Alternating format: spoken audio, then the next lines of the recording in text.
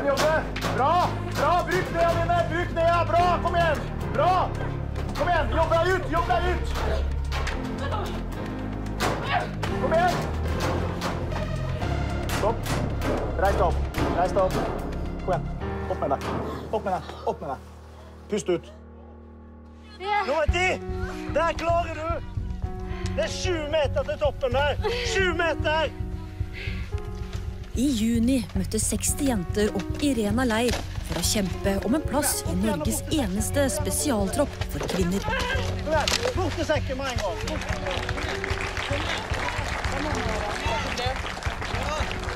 Bare de beste fikk plass i troppen. Dere 14 som sitter her, dere er vist dere er gode nok til å tjenestegjøre i troppen. Gratulerer. Dere er alle sammen fine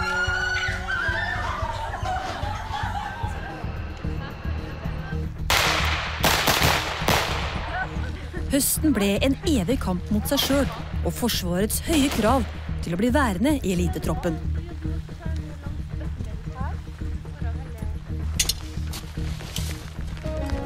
Ned. Etter fire måneder avgjorde en fysisk test om jentene fikk være med videre. De fleste kjempet seg med. Men ikke alle klarte kravene, som er absolutte. Etter et halvår er det kun elleve igjen som får fortsette treningen hos Forsvarets spesialkommando.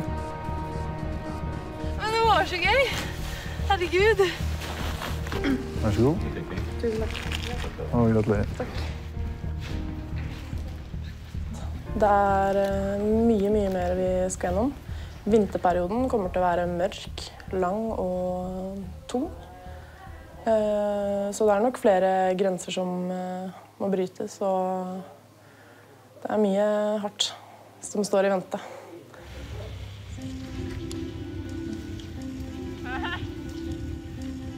Tolga nord i Hedmark viser seg i sin vakreste skrud.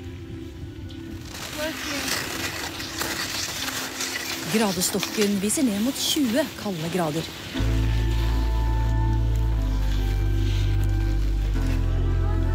Jentene skal lære å takle kulde og vinter.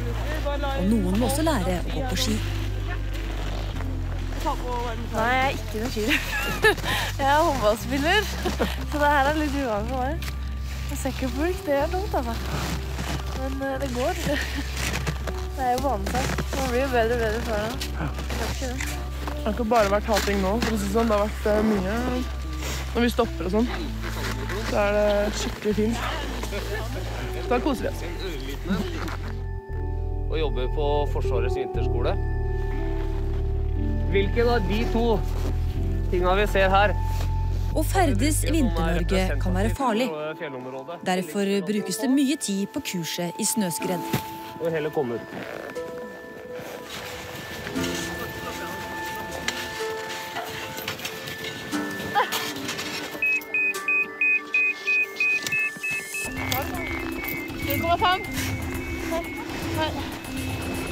Men det er så mykt her. Han er her. Han er her. Ja.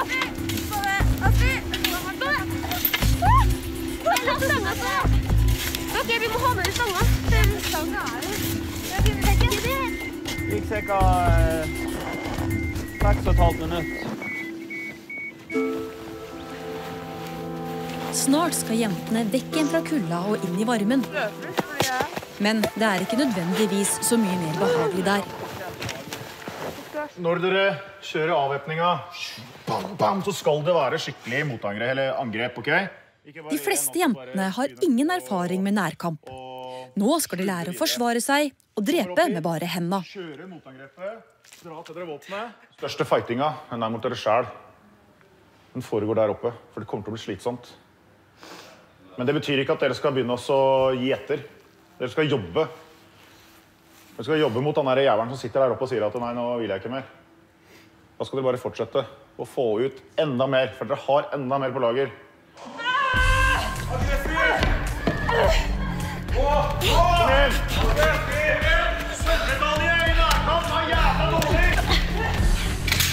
Grep. Bam, bam, bam, bam. Ikke bare ett slag.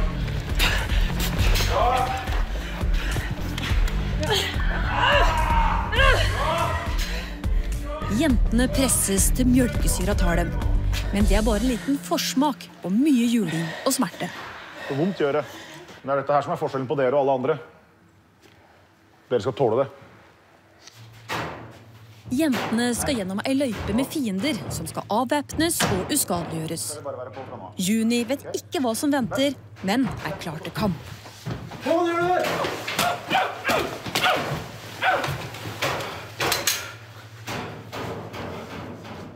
Det er bra. Legg fra deg pistolen. Ta av deg halsbånd. Okay. Det er fri sparring. Alt er lov.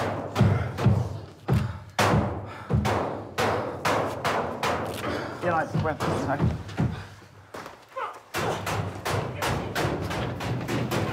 Kom igjen,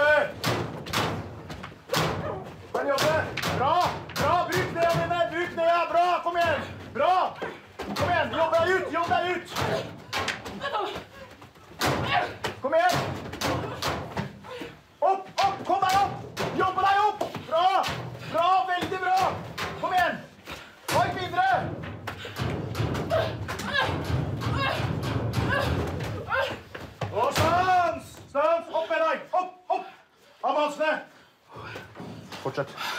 Fortsett, fortsett. Ro ned, ro ned, ro ned. Inn til høyre. Inn til høyre. Inn til høyre. Og ut igjen. Kom. Inn til høyre. Inn til høyre her. Og ut igjen. Inn her, venstre.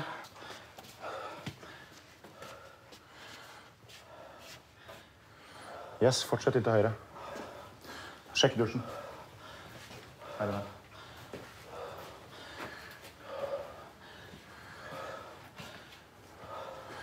Bare gå inn.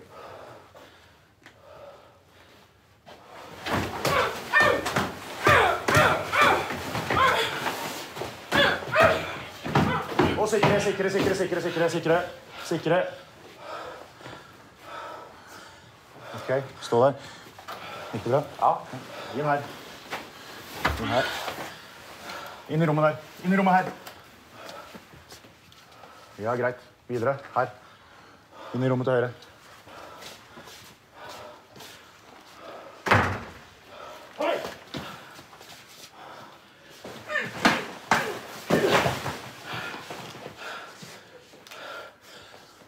Det er bra. Legg fra deg våpenet. Stikk ut. Videre nedover.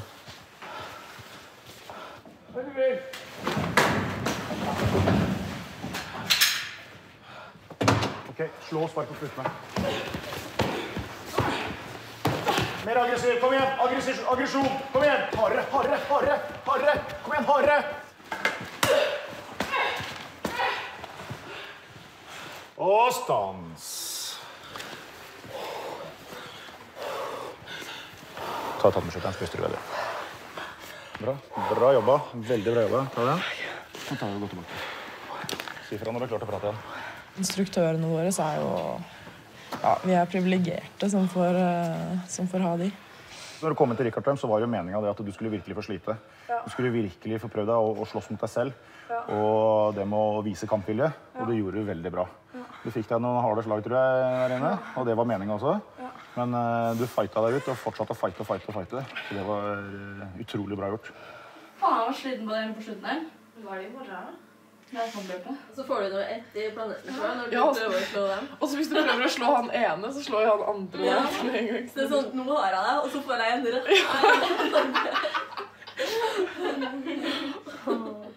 Nei, kroppen er jo helt, helt mørbanka. Det er jo det er jo helt jævlig bare å komme seg opp i, gøyse, i toppe, toppen av senga. Så um, Jeg er veldig sliten, men uh, vi, klarer jo, vi klarer jo fortsatt å, å gjøre de tingene som uh, blir uh, sagt og gjort, da. Så man klarer mye mer enn det man tror. Det gjør man. I en hangar på Gardermoen forbereder jentene seg. Alt de har lært, skal nå praktiseres i den omfattende vinterøvelsen Ammonia. Jentene skal droppes i fallskjerm over Hardangervidda. Det er jo lenge siden vi har hoppa, så jeg gleder meg. Men jeg sommerfuglene har begynt å ja, hva skal jeg si, sveve litt inni magen nå. Så Grønt lys kom på, gassen skinner, go! Foran dem venter et større slit enn de hittil har opplevd. Øvelsen foregår i spora etter tungtvannssabotørene på Vemork under andre verdenskrig.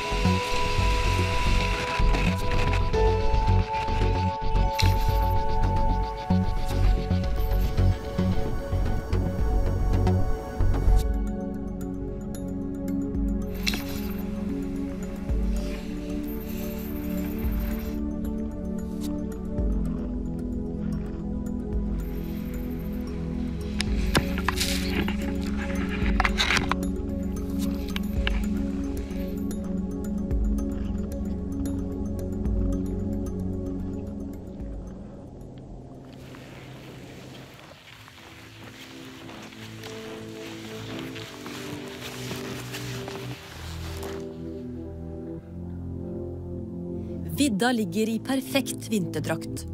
Det er høytrykk og vindstille. Det ser idyllisk ut, men jentene står foran nesten to uker med strabaser.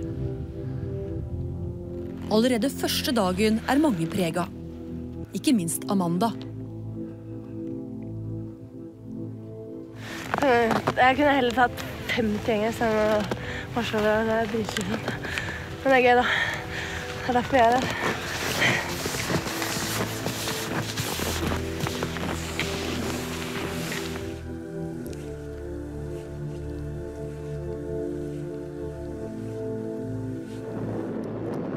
De tar seg fram dag og natt. I vær og vind sliter de seg stadig nærmere målet.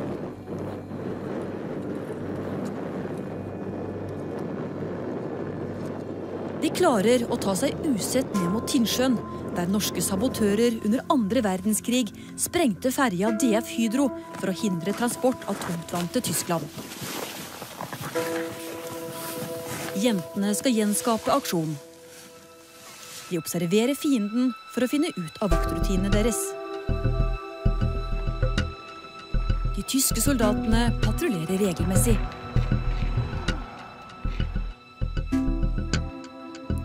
Når kysten er klar, går Johanne og Hilde om bord. De skal med fare for å bli oppdaga plassere ei sprengladning.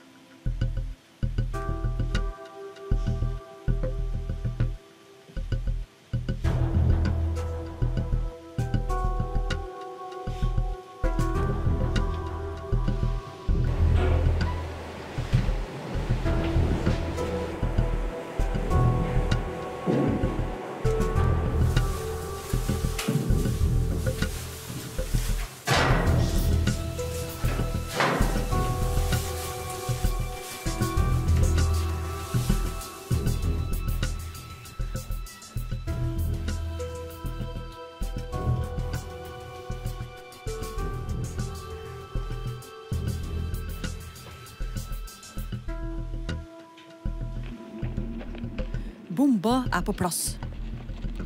Jegerne kommer seg usett unna. Men båten kan ikke sprenges dersom de ikke er helt sikre på at tungtvannet er om bord.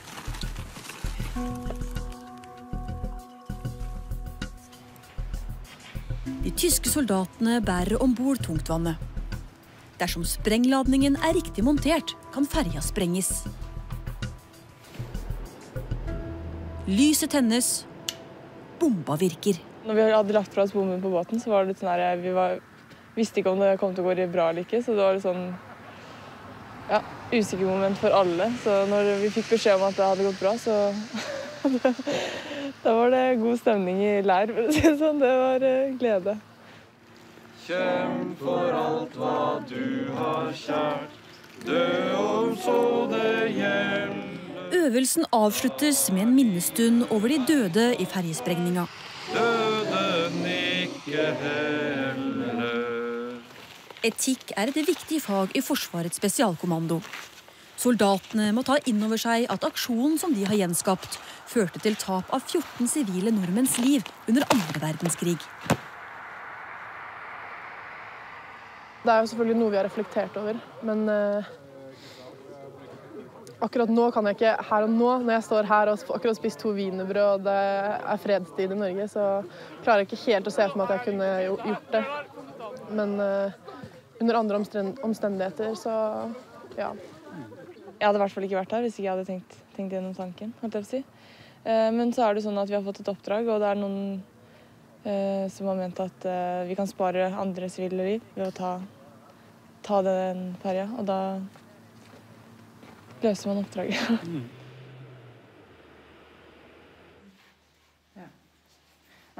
Klokka er fire på natta. Troppssjef Rine har planer som skal svekke jentenes viktigste valuta søvn. Nei, nå skal vi vekke dem sånn at de får en skikkelig bra start på dagen.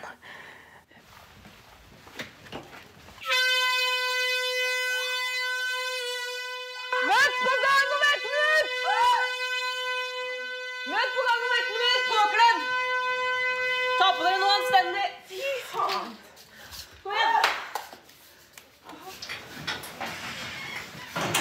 Kom igjen. Jentene testes på syke og fysikk hele tida. Og de må lære å slåss mot fienden og seg sjøl under alle forhold. Tre, to, én, go.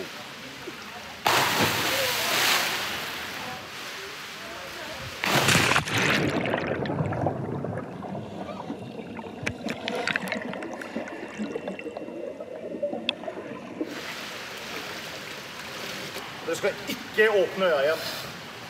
Ok? På et eller annet tidspunkt så kommer du til å møte på Richard. Jobben deres er å bryte han og holde han under vann. Jobben hans er å holde dere under vann.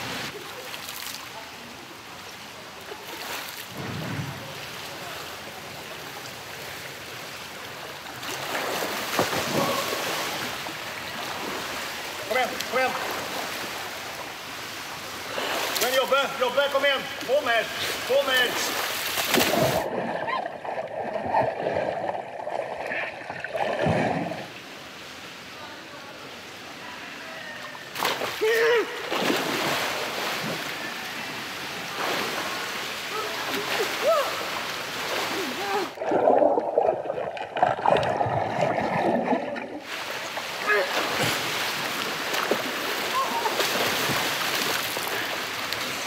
Kom igjen, jobbe.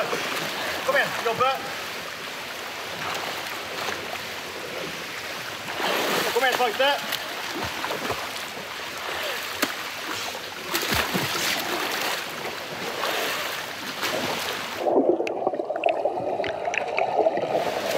Og stans, stans, stans, stans, stans. stans. Åpne øya, åpne øya. Det var tungt. Det var, det, han var så stor, så du fikk ikke noe grep over eller under eller Du klarte nesten ingenting. Han bare drukna.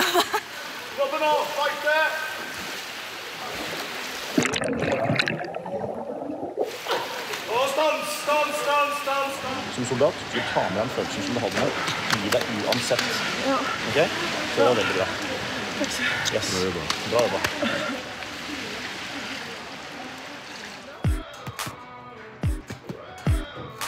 Jentene trener seg stadig sterkere. De har faktisk større fysisk framgang enn gutta i løpet av jegeråret.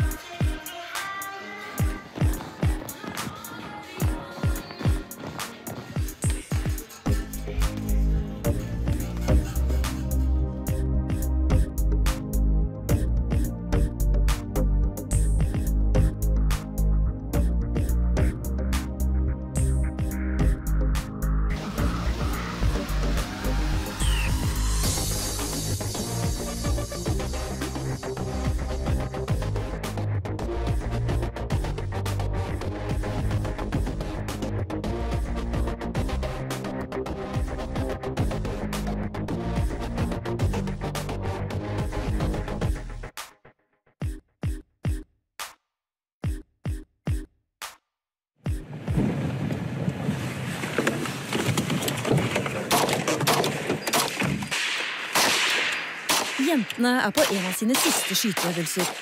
Året nærmer seg slutten. Soldatene er nå topptrente og er i stand til å klare seg sjøl i livsfarlige situasjoner. Øvelsen går perfekt. Nå gjenstår kun at de forsvinner i tåka fra en røykgranat.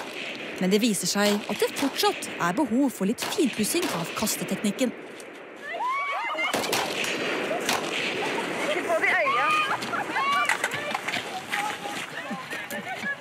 Hoppe ut av røyken! Ikke bli stående i den røyken. En, to, tre, fire, fem, seks, sju, åtte Gikk det bra med alle sammen? Egentlig. Elever dere? Um, Jeg tenkte det ikke skulle være sånn uh, Kjønns-Jonas og si at kjerringer ikke kan kaste. Men dere kan jo faen ikke kaste! Hva er det for noe?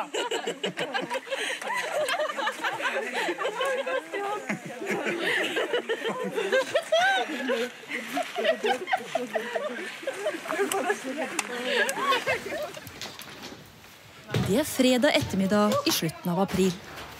Ei lang uke er snart over. Men det krevende pakningsløpet gjenstår. Og nå er løpeavstanden mer enn dobla siden sist.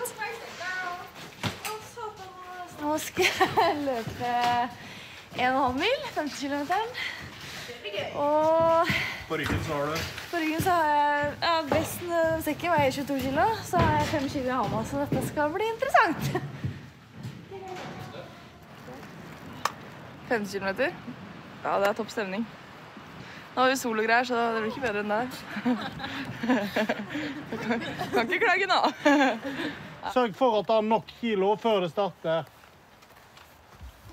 Testen må bestås. Klarer de ikke kravet på 2 timer og 15 minutter, blir de ikke godkjente jegere. Bruk huet litt. Beina deres er i stand til å klare dette. her. Greit? Stopp! Får du med deg, mamma? Lykke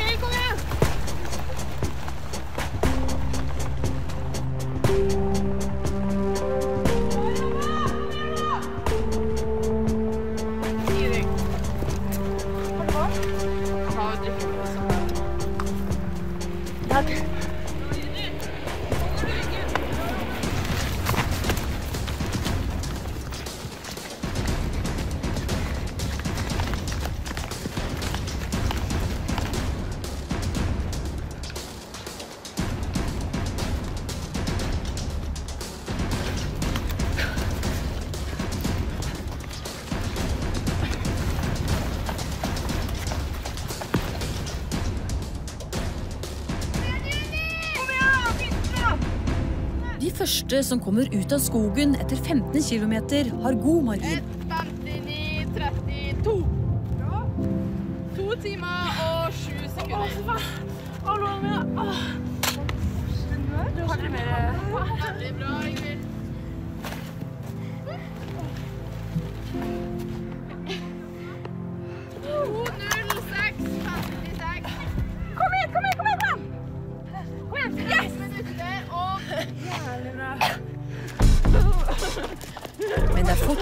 Igjen som slåss med klokka og seg sjøl. Og nå begynner tida å gå fort. Astrid skjønner at det står om sekunder.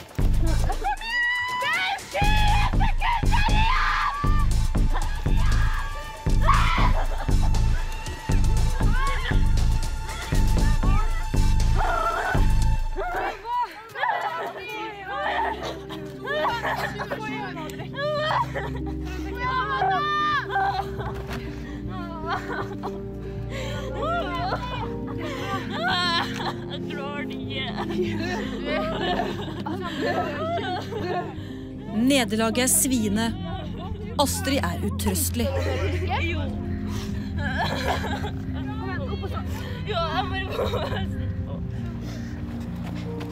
Unni er sist ute. Hun har de siste kilometerne sprunget til halvsvimet. Har dere noe vann? Ja, det er vann i den linjen.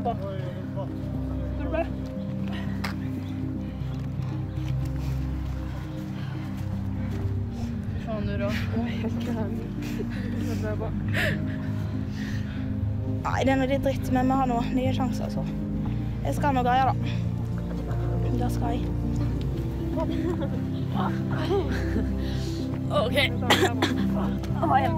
Unni får rett. I løpet av forsommeren klarer også hun og Astrid den tøffe testen. Det er, eh, det er blitt som en familie, og det, det kommer til å være så utrolig kjipt å måtte forlate de og ikke se de hver dag. Det er eh, veldig rart, men bare etter opptaket så merker man jo det at, eh, at det er liksom noe av det aller kjæreste jeg har. Det er aldri opplevd så sterkt forhold med noen på så kort tid. Jeg har bare kjent i et år, men eh, jeg vil allikevel si at eh, jeg har et sterkere forhold med de jentene her enn eh, enn mange av mine barndomsvenner. Vi har liksom vært igjennom så ufattelig mye sammen. Og, og det er mange situasjoner jeg ikke hadde klart å komme meg gjennom hvis ikke jeg hadde hatt mange av de jentene som er her nå. Så jeg ville ikke gått en dag uten. Det ville jeg ikke. Året er ved veis ende. Vi starter med brun bag, og jeg begynner nederst på lista. Utstyret telles opp og leveres inn. Åtte av jentene fortsetter videre i Forsvaret. På befalsskole, etterretningsskole og som skarpskyttere. Jeg har lyst til å jobbe med mennesker, og jeg har lyst til å jobbe med å beskytte på en måte folket da, og landet vårt. Eh, Og det å dra til ja, Afghanistan, Irak, det er jo ikke utelukket for meg i fremtiden. Det er det ikke i det hele tatt. Sitte og samle Lykke til. Jentene skilles. De har fått det høythengende jegermerket og minner for livet. Jeg er jo sjukt glad i dem. Jeg er det. Hver eneste en. De har sett mine desidert verste sider, og også de beste sidene. ikke sant? Så man kjenner jo hverandre ut og inn. Eh, Så man er jo selvfølgelig dritglad i hverandre. Etter at jeg var ferdig med opptaket, så tenkte jeg sånn, ja, er, nå har jeg vært gjennom det verste, liksom, så det utdanningsåret her kan ikke bli så tungt. Men eh, alt etter det har jo vært verre. Så, så det har absolutt vært verre, eller tyngre, enn det jeg hadde forventa. Det har det. Kunne du gjort det en gang til? Ja, absolutt. Man har jo gullfiskminne, så jeg husker jo ikke noen ting av det fæle vi har vært igjennom. Det, jeg husker bare de gode øyeblikkene. Så det, jeg kunne gjort det absolutt. Det er ikke noe jeg har mer lyst til.